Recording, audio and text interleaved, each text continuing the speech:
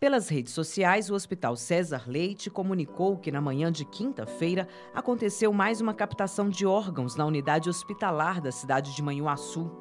A equipe do MG Transplantes aterrizou no estádio municipal Juscelino Kubitschek, um helicóptero do estado, para a captação dos órgãos.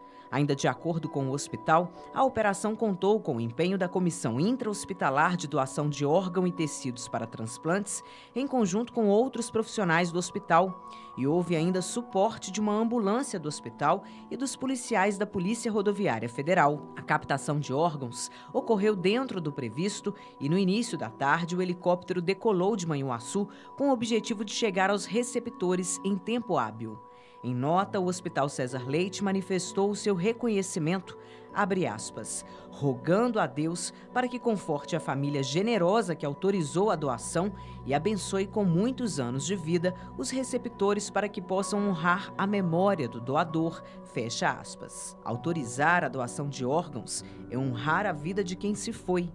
Seja um doador de órgãos, avise a sua família e salve vidas.